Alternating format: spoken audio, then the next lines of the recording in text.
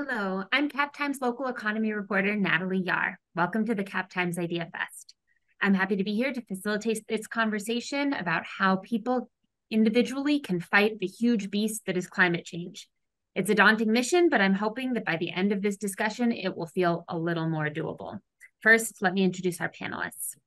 Cristina Carvajal is the founder and executive director of Wisconsin Eco Latinos, a nonprofit organization that strives to assist the Latino community in Wisconsin in combating environmental hazards and advocating for a just and sustainable environment. Carvajal has a background in engineering and is a member of the Sustainable Madison Committee. Stephen Cavil is the owner of Madison Home Performance, which provides energy audits for those looking to make their homes more comfortable or energy efficient. Susan Millar is an anthropologist and a volunteer leader with 350 Wisconsin, a grassroots grassroots group mobilizing to halt climate change. She co leads the group's Community Climate Solutions team and participates in many other 350 Wisconsin teams. And Maria Redmond is the director of the Wisconsin Office of Sustainability and Clean Energy, where she de- helps develop and implement recommendations from Governor Tony Evers' task force on climate change and leads the implementation of the state's first ever clean energy plan. Thank you all for being here. Uh, Maria, uh, let's start with you. Um, I imagine that most people watching this already know a decent bit about climate change. Um, but can you just set the stage for this conversation by explaining why it's so important that we all act now? Definitely. Thank you so much for having me. One, um, you know, we we're really seeing a lot in the news about climate change and a lot of um, action around climate change. And so the thing about Wisconsin is that when we relate ourselves to what climate change is and what we can do about it, uh, a lot of times we're going to be thinking about the weather uh, particularly rising temperatures. And um, even this summer, we we experienced uh, extreme heat, uh, some days with extreme heat, which had an effect on air quality. We also had some hazy days uh, because of wildfires in Canada, and the and and obviously our our air was affected by those hazy days, and that also affects our health. And so um, we in Wisconsin have a deep appreciation for uh, our outdoors, our food, our people. And so mess with any of those and you, you know, we we start to think about like what can we do to ch change this trajectory of um, impacts on our communities and impacts on our outdoors and our water systems and, and all of these things. So, uh, you know, I think most people in Wisconsin um, are really wanting to see some action around, you know, reducing the amount of climate change impacts in the state. And so water issues are top of mind. Air pollution from wildfires and severe flooding, we've seen that in Wisconsin, are um, also on the list. Um, and a lot of people support action. So I think that, you know, I'm excited about this panel today because it, it really show the uh, people in Wisconsin who are really looking to themselves, looking to their business, um, looking to their community um, to help them to understand what they can do related to climate change mitigation and, and really what can we put into action? What are those strategic things that we can do to reduce greenhouse gas emissions and our impact uh, globally on, on the environment. Thank you, Maria. And uh, I think you've already segued us nicely. Um, we'll be coming back to you uh, a bit later to hear more about the work the state of Wisconsin is doing to fight climate change. Um, but as you said, I'd like to take us now to um, our other panelists, uh, each of whom is working locally in a different way to address climate change.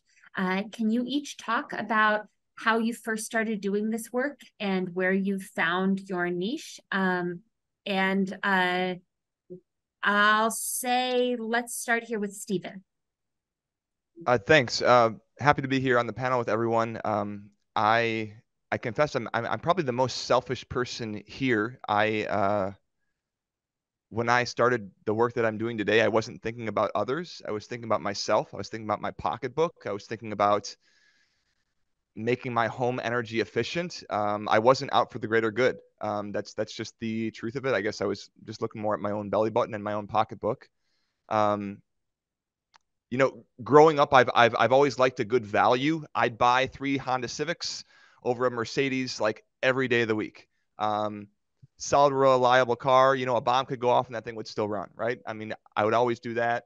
Um, I like when things run efficiently. I don't like waste, particularly when waste costs me money. So put those uh, characteristics of myself, my personality, into the cir- circumstances of me buying a house. And you have a recipe for a guy that just kind of goes bonkers, making his house super efficient um, and, uh, you know, green. Uh, so I ended up uh, buying a 1957 house on the east side of Madison for $205,000. Um, a thousand square feet upstairs is just a simple rectangle. It's a simple matchbox. And um, I just went gangbusters and I started air sealing and insulating. And when I did all that work myself, I called up MG&E and asked how my bills compared to the last homeowner. And then you can get the graphs comparing your energy usage to other people around Madison. I cut my electric use by 45% and I cut my gas usage by 50 per, per percent just using insulation and uh, air sealing, right? Um, first time DIYer, like no experience, just kind of going for it because I wanted my house to have low bills. Um, and that just started this this this this ball rolling where I did more and more like I had the old electric resistance water heater. It was costing me 502 bucks per year to, to run per the label. And then I, I installed a heat pump water heater and that's 125 bucks, 125 bucks per year. And then I uh, got rid of my gas furnace and we just got a heat pump now and, and my house is all electric, right? So it was just like this one thing led to the next, one thing which led to the next. And I just, you know, I kind of drank the Kool-Aid, got super excited, and then I started a business doing this and helping people um, make their homes more safe more comfortable, more uh, durable, and more energy efficient. Those are actually all one and the same thing, but I didn't realize that at the time. And um, here I am today. So. From there, let's go to Susan. Okay, well, thanks a lot, a lot for inviting me to this panel. I, I'd love to build on what Steve Stephen just said. Um, you're talking about how you hate waste and how you you were doing this because of your bottom line sort of thing. I kind of came at this from uh, the standpoint of also hating waste, but hating waste from the standpoint of waste equals harm to our planet. Uh, and I want to get back to that in a little bit.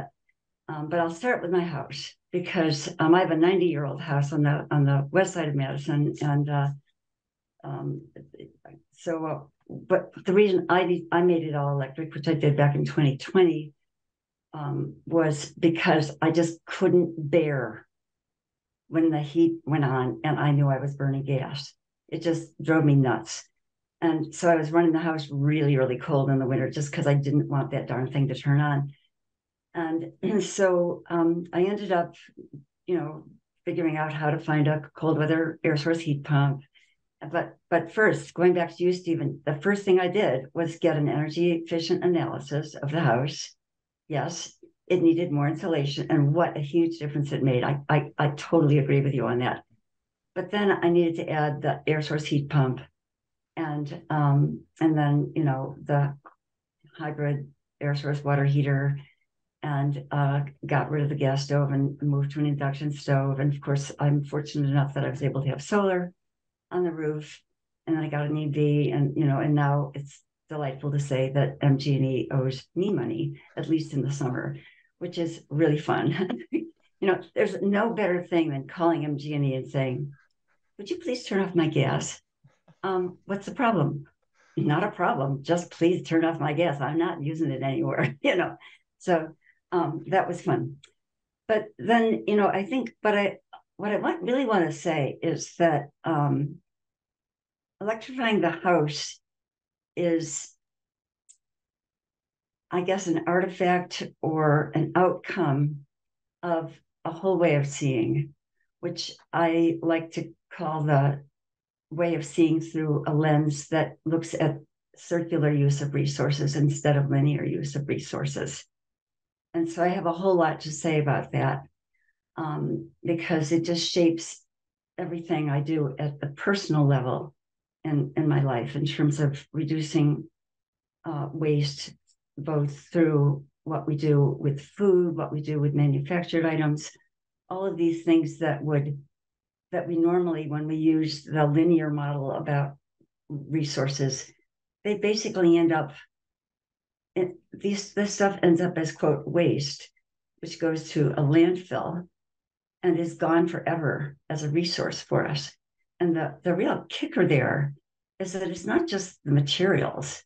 It's not just the aluminum or the you know whatever it is that's getting turned from a resource that this gorgeous earth gives us to something that can never be used again. It's that it uses some sort of fossil fuel all along the way. So you know which is also an extracted thing that we that we lose forever.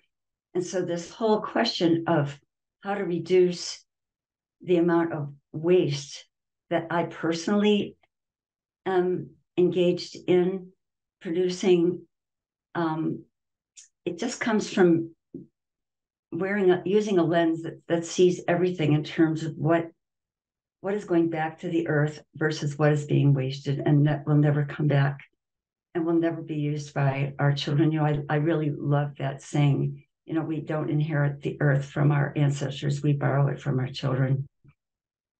So I want all that stuff to be there for the children. And so we have to use the circular way of thinking about reuse non-use is best. Uh, then, of course, reuse and, and recycle.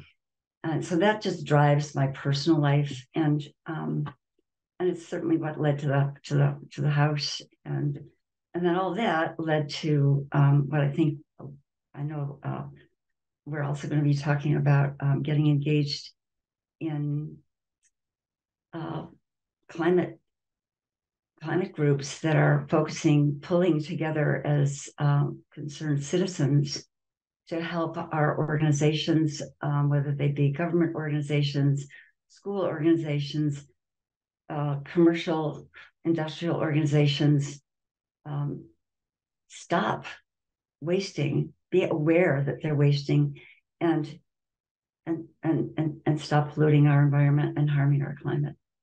So I think I'll just stop there.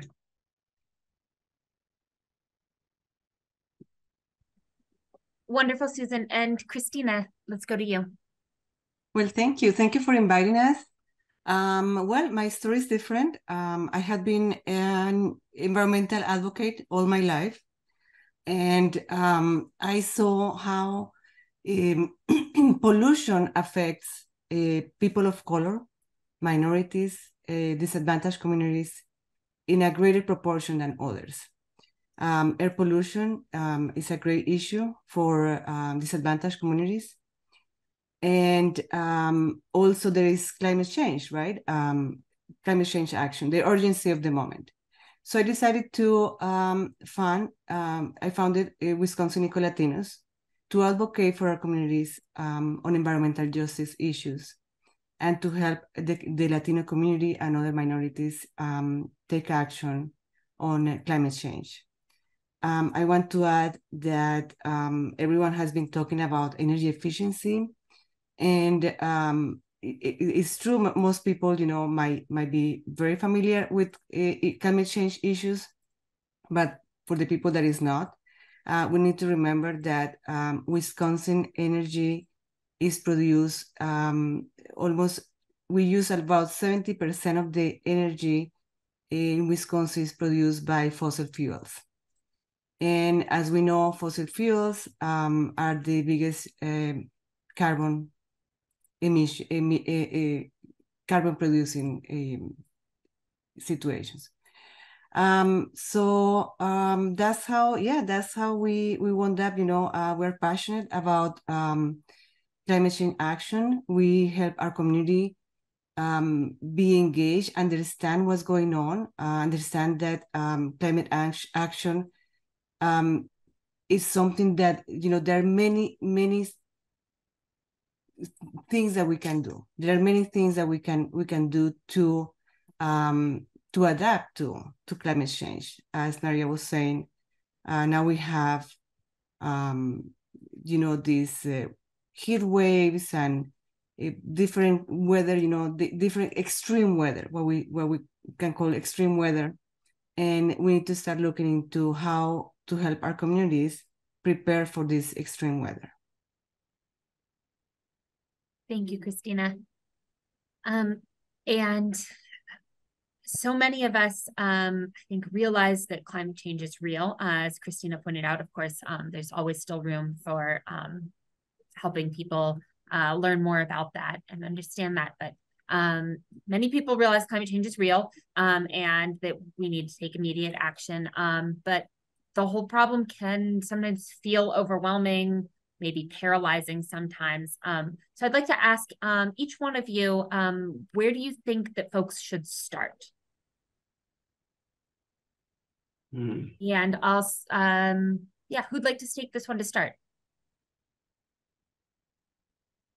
I'd be happy to kick it off. Um, so there's an ancient proverb, uh, the journey of a thousand miles starts with the first step. And so I know that uh, it may seem overwhelming because um, climate change tends to have this gloom and doom feel um, when you read it in the media. And really, it's about everyone here is talking about solutions, and we're working on solutions and action.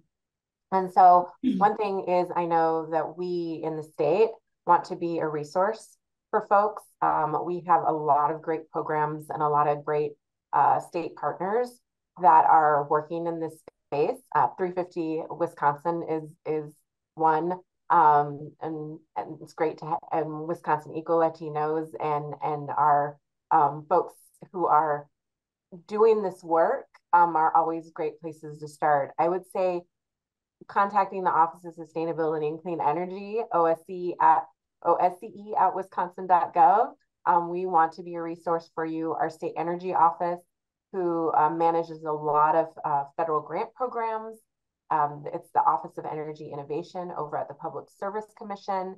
They have also um, a, a, really great uh, support and resources. I know there are a lot of folks in this space that are really ramping up. So making that first call to you know our office to the state energy office to focus on energy uh, that's another um, great resource and tool. So i those would be my suggestions but like even if you the first call is to someone working in this space there's a huge network of people working on um, action uh, related to climate change. So i just say take that first step make a call um, to who you think might be the best, um, and then or send an email and and it'll at least open that door and get you um, in the right network to be able to get some of your questions answered. Yeah, I, I can step up next. Um, well, uh, building on your initial point, Nellie, uh, I think a lot of people are experiencing climate anxiety. And um, a great way to deal with that is is to get engaged in climate action because it feels like you know you're taking that one for that first step in uh, the, the, the thousand mile journey that Maria was mentioning. And um, the thing that is extraordinary about acting as climate concerned citizens uh, building uh, kind of in collaboration with with folks in, in government such as Maria, is that there's something about the citizen voice. So, like within 350 Wisconsin, there are a large number of us who identify problems, um, situations in our cities or in the county or uh, with uh, energy equity, for example, like which Christina was talking about. And so what we do is we can we can make comments we can call up our alders or our supervisors or our legislators and if we make our voices known that makes a huge difference the first time i understood that was when somebody told me that that it was a single person it was a person in engineering in the engineering department in um, the city of madison was that there was this one person who just kept on hammering on the need to recover this particular um, wetland. And finally, the city paid attention and they did it. And I was like, if one person can make the difference in recovering a wetland, what can 50 of us saying something about the building energy savings program do? And what, you know, and it turns out that the first thing we started to do was to work with, for example, the Plan Commission in the city of Madison. And some of the plan commissioners were like, you know, you're the first people we've ever heard from who are actually talking to us about our sustainability goals instead of complaining about something that is not going to look great from your backyard. And they really thanked us for just being public voices that cared about climate goals. And so it turns out that having that kind of voice, which we can't really do all by ourselves, but which is wonderful when we're working together, actually makes a difference. And it and it helps helps address that sense of gee, I can't I don't know what to do. I can't do anything. It really does help. Okay, I can go um, next. Um, so where where to start? Um, of course, you know, ideally, um, clean energy is number one. Um, if we move to towards clean, if we get Wisconsin moving towards clean energy, this is going to improve. This is not only going to help climate change, but it's going to improve air quality because of what I had mentioned that uh, energy in Wisconsin is most of the energy is produced by fossil fuel, including natural gas, um, which sometimes you know the name makes it look like it's is is not as bad, but it's still a fossil fuel. Um, it also, um, you know, adopting electric vehicles, it's another option, another step. Um, and I understand it might not be um, at you know many people's reach. You know, it is still you know um, clean energy, uh, solar panels, electric cars are still expensive, but there are other steps. You know, individual actions that people can take um that's you were, you were mentioning you know energy efficiency uh, weatherizing our homes is very important um there is one very easy action that we need from everyone and it's planting trees planting trees it's it's easy and uh, it's very important because um, trees can reduce uh, pollution they can reduce the effect of uh, urban um, heat islands um, and they can beautify neighborhoods too. Uh, that's a very easy action for individuals to to take. And there are many others, you know, like ways with reducing waste, as we, we were talking about, and uh, buying local. Buying local is very important because buying local is uh, it, it's the perfect solution for our, our, local economy and and it reduces um, our carbon footprint too. Big time. I guess I'll uh I guess I'll jump in if I'm not interrupting anybody here. Um, uh, I like what you've all said. Um, I'm I'm drawn to what Susan said about uh, this idea of making your voice heard and sharing. Um, I'm literally on my bike biking around the neighborhood after I did a Google Map search of who has solar, and I'm going to knock on people's doors and I'm telling them about MG&E and Alliant proposal to end net metering and people don't even know this is going on, right? And I'm just like pulling my hair out. I'm already losing my hair. I'm pulling my hair out. I'm like, geez, people, like we gotta know about this. Come on now, you know. So I'm, I'm trying to I'm trying to get I'm trying to get the word out here.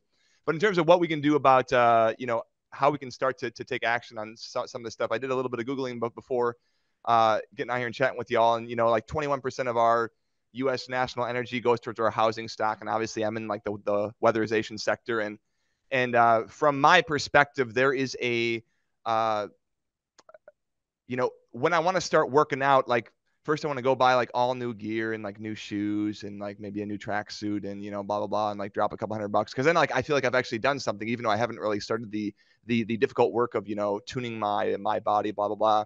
And I think that sometimes there can be a tendency from homeowners in my experience to be like, "Yo, Steven's here. All right, I think we should. We're probably gonna need the the new windows, right? you know, and like that's just something big and shiny to impress the uh, the Joneses. Or I think we need to get an EV here. That's really going to make the the difference. And and really, um, the work to begin uh, from a weatherization perspective on your house is is not sexy work and it's work that people can't see. Uh, it's not a spray tan. It's not a new hairdo before the the big dance. It's like eating healthy vegetables and, and working out. It's like air sealing and insulating your attic then your basement then your crawl space and then the exterior walls on your first floor right? And you can't see any of that stuff.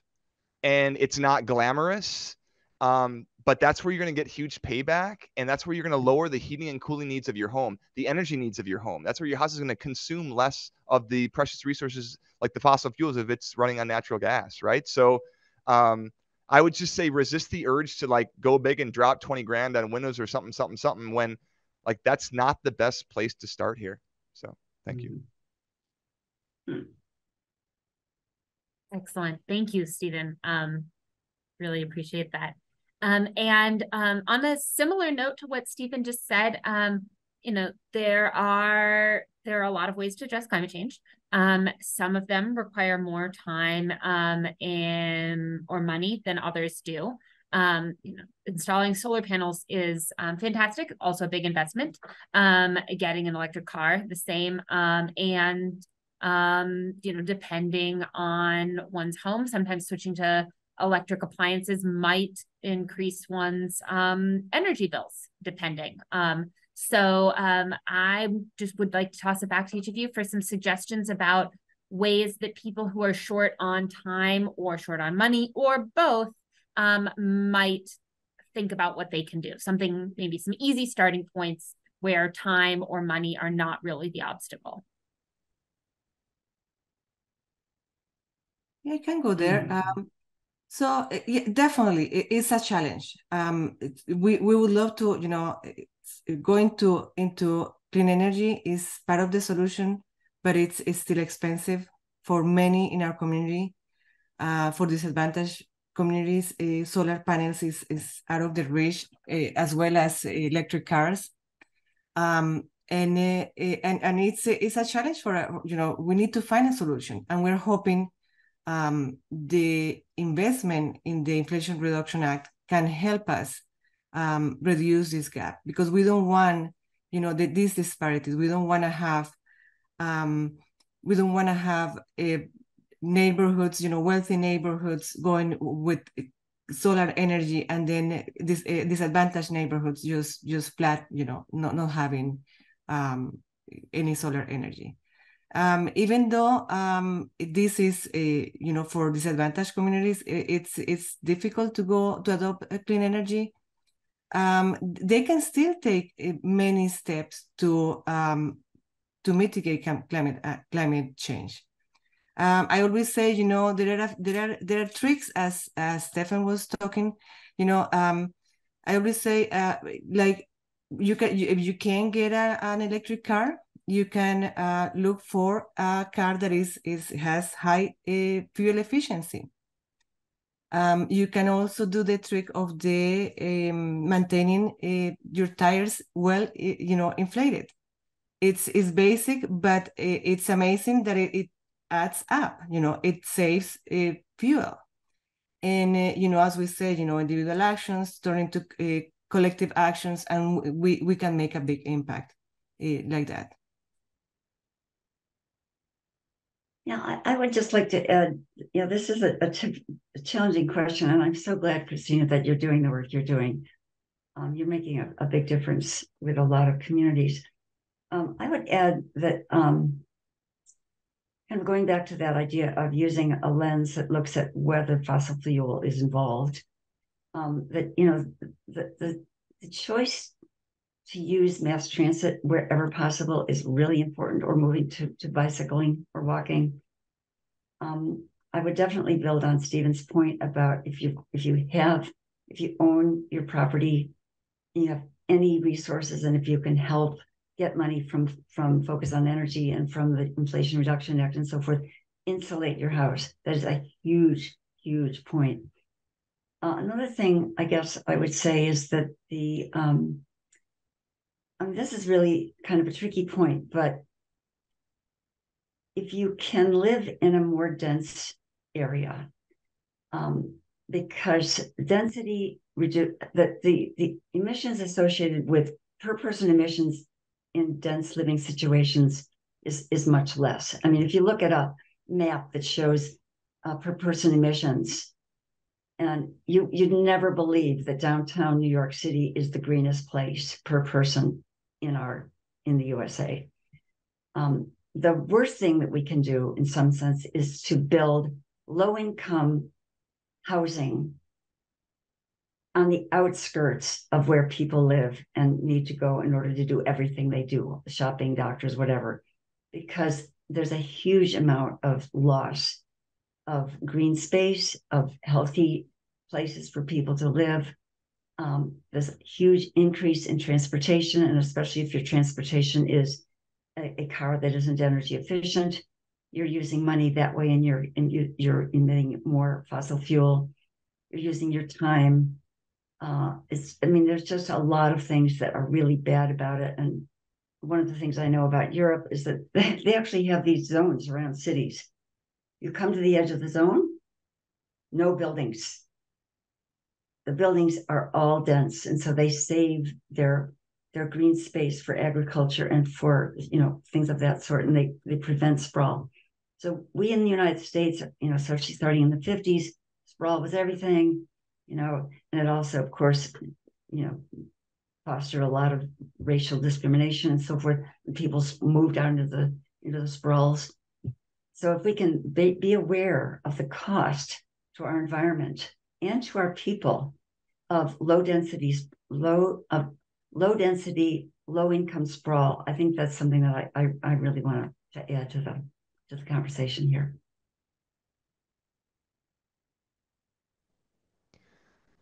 Uh, I'll, I'll, I'll chime in here. I was thinking about you know uh, five fixes under 50 bucks or something like that. You know, maybe it's five fi- fixes under 100 bucks in terms of like things that I can do on my home. Um, I crawl up into a lot of attics, and uh, the the the the attic hatch or the attic access is often uh, just a piece of wood, and um, when that piece of wood is doesn't have any insulation in the back of it, the effectiveness of all the insulation in the entire attic drops by a staggering 27%. Uh, it's just astounding. So I guess, you know, for, you know, 25 bucks in insulation, maybe some weather stripping, you know, you can, uh, you could make that attic hatch insulated and air sealed. That's probably the very first thing I do second fix under 50 bucks is I'd probably go buy some foam board at the big box store and some spray foam and I would air seal my rim joist probably for one sheet of four by eight foam is probably 40 bucks.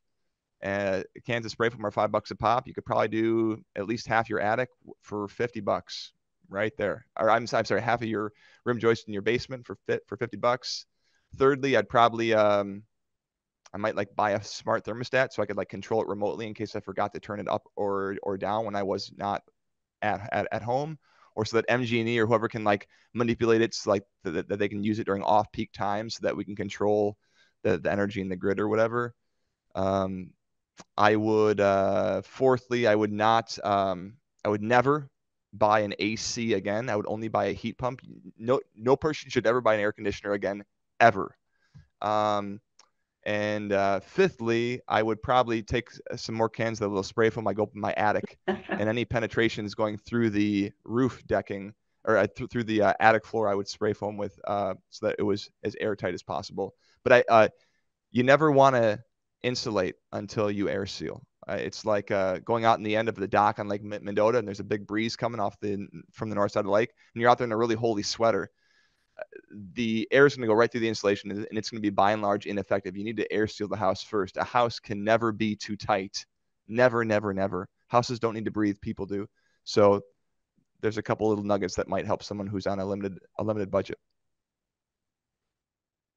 Stephen, I think we should give you an award for packing so much in to so Sorry. Yeah. Hey, you and, and just back to like what Susan was saying earlier about like, you know, we borrow the the earth from our grandkids. Like like every time that I'm doing something that I think is cool that I have energy for, I am sharing it with like like I'm putting out a YouTube video. I'm like telling my neighbor, I'm like telling my friend whose house I go to to play a video game. Like I'm like, dude, you should just do this thing, right? And and so when you stumble upon something that's good that has an impact on your health or well-being or blah blah you share it with people close to you and say hey dude can you just tell one other person and then this thing can just become a tree and blossom and we can get the word out about this stuff because you know consumers in the driver's seats with a lot of this stuff and and sharing the the the information like with your neighbors so that they can do the same thing or that, that they can make a good choice right so that we're not like these little islands like get to know your neighbor and help them out okay pass Mhm.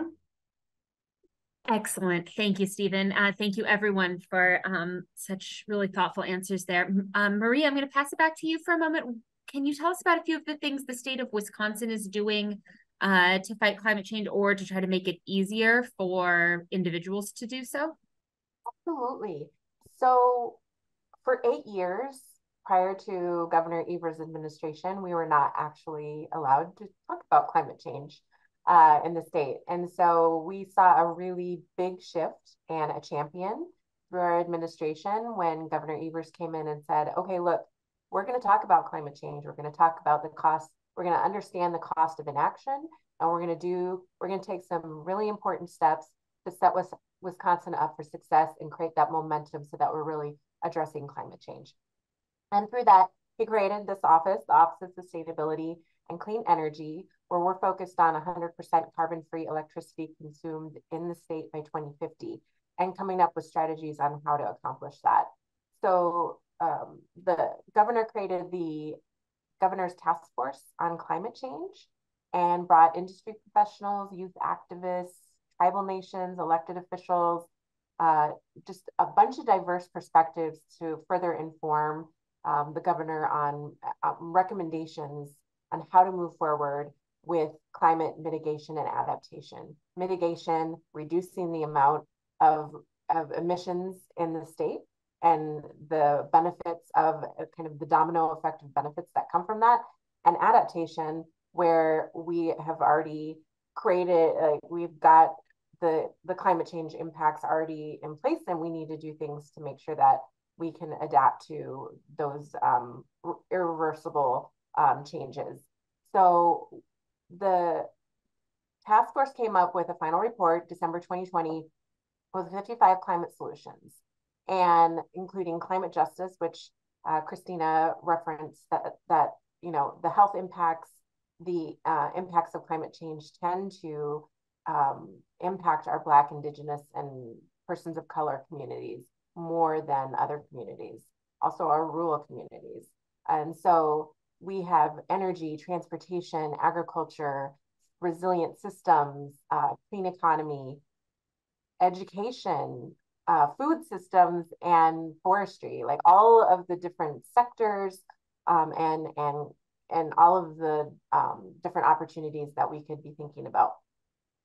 Also, in April of 2022, the governor pushed out the, or actually our office helped to inform the governor and um, and our partners uh, related to clean energy. We focused in on clean energy and we published the first, state's first ever clean energy plan. We were one of eight states in the nation that did not have a clean energy plan. And we created this blueprint on actionable strategies that the state can take to one, deploy more clean energy technology optimize energy efficiency, innovate in transportation, and to upgrade and update our buildings and industry. And so everything that this panel has been talking about uh, is has really been supported by the governor and this administration.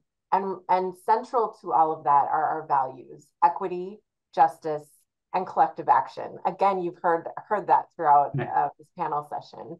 So equity, making sure that all Wisconsin residents can feel the benefits and receive the benefits of of our our actions that it's you know from a health perspective from an economy perspective let's get you know that we actually send 14.4 or more billion dollars out of state to help meet our energy needs in Wisconsin. So I can we can all raise our hands and say I could use some of that money in my pocket so what can we do to keep more of those dollars here?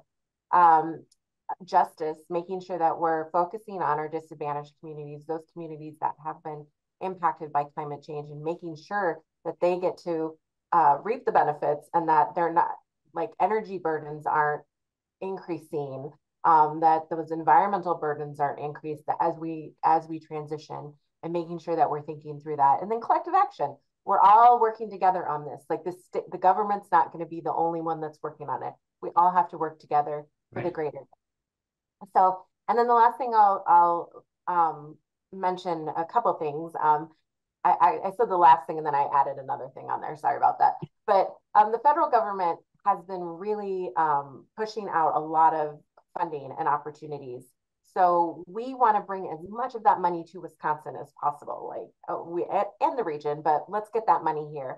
Um, there's there's direct pay provisions, which are super exciting. Um, tax incentives for individuals, and we want to get the word out as much as we can to people to to to let them know that these tax incentives are available and with the direct pay provisions non-taxable entities, non-governmental organizations, local governments, um, state agencies can now be able to take advantage of tax credits and be able to get those heat pumps, electric vehicles, uh, you know, all of these these types of things. And the last thing I'll mention is that the governor governor also created the Green Ribbon Commission on Clean Energy and Environmental Innovation.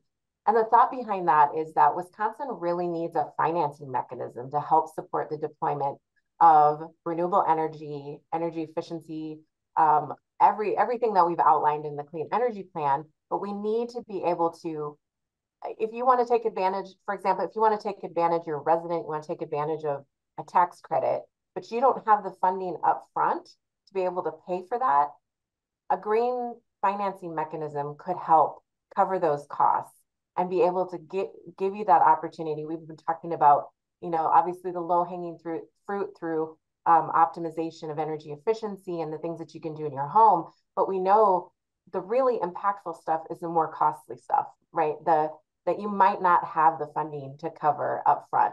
And so we want to be able to create a financing mechanism through a Green Bank or Green Innovation Fund to be able to provide that funding upfront. So we're working we're working on that right now. Um, I'm honored to be one of the commissioners on that and with uh, 19 or seven, 17 right. or to 19 other folks um, to be able to get that stood up and to be able to bring federal dollars, private funding, private capital, whatever we can to make sure that we're supporting and deploying as much of the technology as possible. I'll stop there. wow. That's a lot. Yeah. Thank yeah. you. Um, and um, with that, I think I'll I'll open it up to other folks um, on this kind of policy type front. Um, what um, what do you all think? Um, are are there other things that could be done on a big picture level? This doesn't have to be this is this isn't about whether Maria's doing her job right or not, obviously, but um, you know, on a big picture level, are there things that could be um, being done maybe through policy or through collective action that might make it easier or more appealing for all of us as individuals to take these kinds of actions that can be difficult or that might come at some cost to ourselves. Well, I mean, I, I guess I could speak uh, from the standpoint of, of 350's Community Climate Solutions team. Um, the the sort of motto of that team is think global, act local. Um, and local meaning, at least with, the, with respect to that team, not at the state level, but really at the city and county level, and maybe the school district and uh, other other organizations that are that that are within your community. And I, I would just go back to the the power of the concerned citizen voice in all of those situations. Um, th- there are situations where we in 350 have, have been approached by a city, um, a city sustainability office, or a group of elders to say, We need your help. Um, and we've stepped up. There have been other circumstances, and I'll just point to something that's happened at UW Madison. Um, we got wind of a brand new plan for um, re doing is basically a how are we going to use this land on the west campus uh, on the western part of our campus to make more money for the university well, it was like a real estate plan for making money. And we read it and we were like, oh my gosh, um, sustainability is completely absent from this. And it's, hey, it's 2023. So we contacted the people who are in charge of this and they sat down with us and they were like, thank you. We actually didn't really notice that we hadn't done that. We actually care about that. Will you help us? Um, push us um, because we do care. This does matter, and it, you know we need a new plan that we're going to be able to take to the regions, board of regents, and having a lot of citizen support for that is going to make a difference. So again, it's that finding opportunities um, where something's going on in in your local community that needs to be better, uh, and, and and saying something about it. So I guess I would say that that that's a a really important thing that we can do. Another thing I think that's very important is just celebrate the good. So, um, and this is something that the Dane County Office of Energy and Climate Change is doing super well with their uh, Climate Champions program. So, yeah, I mean, going back to a point that, that Stephen was making, you don't know when you go by a building that's super well insulated and air sealed and so forth. Well, there are buildings in our community that are uh, not only net zero, but even in uh, some pushing positive positive zero and actually creating more energy than they're using, you'd never know. But um, with this Climate Champions program, which 350 is helping to celebrate, um, these buildings get to be visible. And there's all kinds of other kinds of um, categories of um, non-use and reuse and clever, you know, clever activity like um, industries or businesses that are promoting um, ways of reducing their employees' transit costs and miles they travel, and you know all kinds of clever ways to celebrate what's working. And I think that's very important because um, there's kind of building on something Stephen said earlier. There is this thing about talking about it. You have to we have to talk about it. As part of the contagion theory of change. When once people start talking about it noticing things then it's like huh well they did that. I guess you know i could try that. And that it, it's it, it builds so if we don't talk about it and we don't know about it it's not going to happen so there's th- those are a couple of things that i really wanted to, talk about celebrate the good and talk about it use the contagion theory of change Yes, I'm gonna I'm gonna echo Suzanne. Yeah, there uh, we're fortunate to have, uh, you know, the, the, the policies that the the Governor Evers through Maria's office are taking. Uh, also, Dane County Office of Energy and Climate Change is through. They're they're doing an excellent job too. Um, the city of Madison also is is uh, also working on uh, setting goals on a sustainability plan to reduce, uh, you know, to become uh, um, carbon free, you know, um, on uh, their own fleet and buildings. Um, people is working and, and there is a lot of people working on it. And it's, it's true, we need to celebrate all those achievements.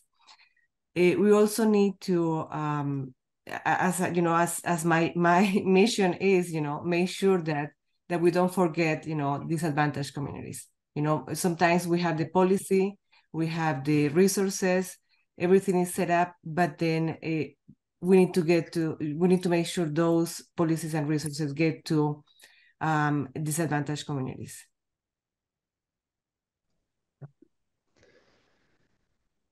I think I, uh, I think I'll just say two, two, two things here. Um, I'm just going to continue to be a megaphone and uh, I've actually, from this conversation, from what all you smart folks say, I'm actually going to contact the uh, Madison Building Department to share the good news about what's going on in my house. Um, you know, as as we go forward and look at policy stuff, I think about uh, the whole MG&E stuff and kind of this this attack on residential solar. I'm calling it attack. That's that's that's kind of my my my viewpoint. You know, it it may be wrong, um, but you know, they're they're uh, we buy a kilowatt hour of electricity from MG&E for 16 cents, and now they're they're proposing that rather than uh, them buying our excess for people who have solar at 16 cents, they're gonna they they want to buy it back at four cents, and they want to make net metering instantaneous. So that there's no more banking up of hours. And that's just a huge it's just such a huge gut punch. And like no one even knows that it's going on because everyone's thinking about oh like the rates are going to go up. Well there's something so much bigger than than the rates here. So you know I, I guess you know just talking about stuff like like that you know going door, door to door talking to neighbors um, and then secondly something kind of on like the hvac front you know when you got people like susan who have an all electric house or me who have an all electric house and uh, i mean my house is from 1957 hers is even a, a, a little bit older and then you go to people's houses who are um, who don't even know about heat pumps, who are putting in like 60,000, 80,000 BTU, 100,000 BTU furnaces in the same size houses that we have. What on earth is going on here? What is going on here? Right? I mean, like this is just like like like there is a huge breakdown of communication in terms of what's possible, what we're doing, what my bills are. They're still lower than everyone else's. I'm an all electric home, and I and I and I don't even have solar, right? and then what people are still do like what people are still doing and, and like like there's just a huge and and there's a there's a huge gap in in in where people are with the technology and what people are putting into their homes and maybe that's because there's a lack of sharing or or or people don't know but i just wish that there was some greater um i don't know standards or uh i don't know i don't know what the solution is there but but people like myself and susan and many others are are going forward, you know, uh, with with all these changes, and it's totally possible, and we're doing it, and we're living it, and then other people are just totally clueless that, that this even exists. So, I guess just keep being a megaphone and talking about that stuff. Um, yeah, thanks. Absolutely.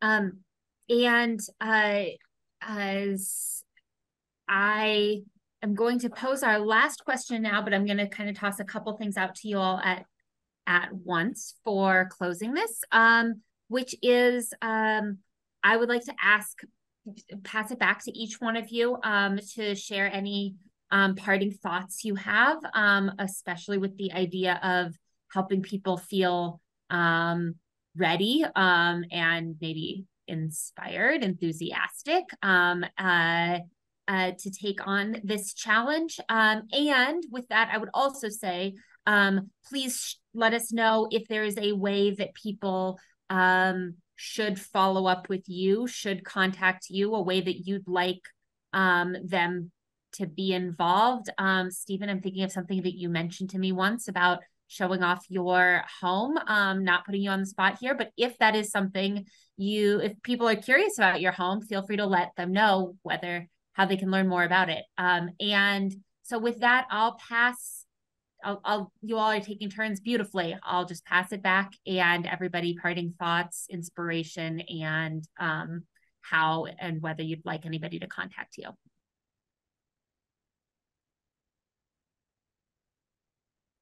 Well, okay. Um, I actually recruit people to 350 Wisconsin. I love it.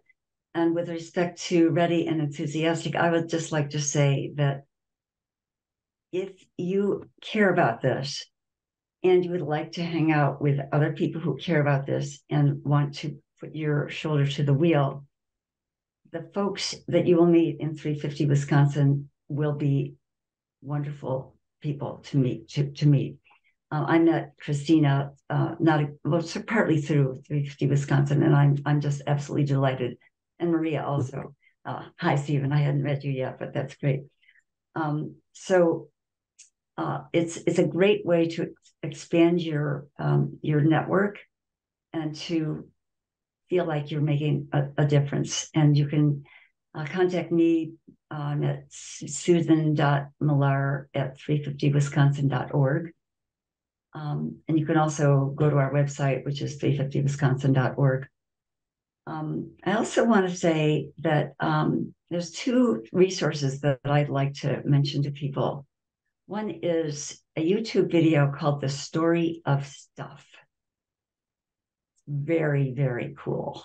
Uh, you learn a lot and you feel pretty motivated to think about the carbon that goes into a whole bunch of the stuff that is thrown at us. Um, it's a really interesting way to make sense of, of the stuff that ends up in landfills.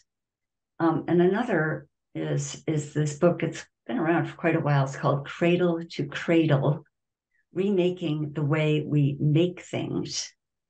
Um, the it's got two authors, that it's kind of complicated. I'll just repeat the title: "Cradle to Cradle." Remaking the way we make things. It's about the circular economy in the manufacturing uh, sector. Um, and a, a, a, second actually would be um, a new book out by Dan Egan, who wrote the wonderful book. He's from Milwaukee Sentinel Journal. He wrote that wonderful book about the Great Lakes, but he's got a new book out called um, oh, what's it? It's oh darn, I should have remembered the name. It's it's about um, phosphorus. Uh, I'll I'll look it up and, and get back to you in a minute. But um, what's what's amazing about it is that it helps us understand the huge impact that agriculture and and waste the waste of phosphorus in agriculture is is potentially of great harm to us and it's another one one of these really important um, ways of, um, of, of addressing climate climate challenges to our climate. So i think i'll i'll just stop there and um, pass to whomever next. Okay well thank you susan. Um, well i'm gonna go uh, again you know um, you, you, I would be delighted eh, to have people join Wisconsin Ecolatinos. Uh, you can visit our website, uh, www.wisconsinecolatinos.org. We are going to have a, a planting tree event this fall and next spring. Um, you know, I, I that's what I recommend. Uh, you know, you can plant a tree, you can do marvelous things. Um, if you're interested, uh, visit our website, join our mailing list, and and you will get information on on uh, when and how we're gonna we're gonna do these uh, planting tree events. Can I just jump in with that Dan Egan title? It's called The Devil's Element Phosphorus and a World Out of Balance. It's a brilliant book. Stephen, will you take it next? Uh, yeah. Um, I used to. Uh, I I got my grad degree at Notre Dame, and I met a lot, and I and I let. and I read a lot of C.S. Lewis. Uh, he's the guy who wrote all the Chronicles of Narnia series. Those are just wonderful. Um, and he has uh, he had this quote that I was going to share with you that I just think is beautiful. It, it it applies to the spiritual life, but maybe also to this issue as well. I just apply it to everything. Come on now, folks. He says this. Um, well, uh, he says, We have become like a child who wants to go on making mud pies in a slum because uh, he cannot imagine what is meant by the offer of a holiday at the sea. We are far too easily pleased. Um, I just think that's so beautiful. Uh, I, I, think that speaking about uh, settling and how we shouldn't settle, uh, we shouldn't settle for a meaty uh, a house that performs poorly or that's just okay, or we shouldn't settle for, uh, you know, too much phosphorus on the land, or we shouldn't settle settle for environmental racism, or we we, we shouldn't settle for, you know, put in your cause here. Um, I think a lot of education is needed among Madisonians. I think sharing and, and collaboration is needed. We need to put down the phones and get out and talk to our neighbors a little bit. Um, and uh, you know, all the people on this panel seem like fantastic resources that I like. I want to go have coffee with each of you and just mm-hmm. uh, chat and, or, you know, a nightcap or something, you know, it, like this is just, just fantastic con- conversation here. Um, I just try to work with homeowners and just kind of give them no BS and said, this is what's it. This is what you got to do. Now go do it. Uh, if, if you want to get a hold of me, uh, 312 373 0555. Uh, anytime before midnight, you can call that number 312 373 0555. And, it, and I'm Stephen at MadisonHomePerformance.com. But um, we're all just trying to help people, it sounds like. And this is all just totally fantastic. And I'm happy to be a part of it. So thank you. Yeah. And I will round it out. Take that first step, make that call, get engaged. Um, I put right here osce at wisconsin.gov. Um, so if you want to email our team, we can help get you started.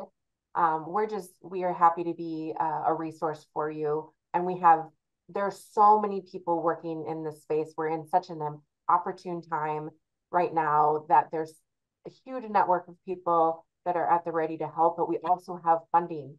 Um, there's funding um, to be able to take advantage of. And so we want to get as much of that to, to Wisconsin as possible. Fantastic. Thank you, everyone, uh, so much for making uh, the time to be here today, uh, for all your wonderful insights. And thank you to everyone uh, who's watching. Uh, to see more Cap Times Idea Fest sessions, um, there's even one about trash and uh, what ends up in landfills. Um, I'm looking forward to watching that one. you can visit captimesideafest.com or you can find us on YouTube. Thank you, everyone. Thank you.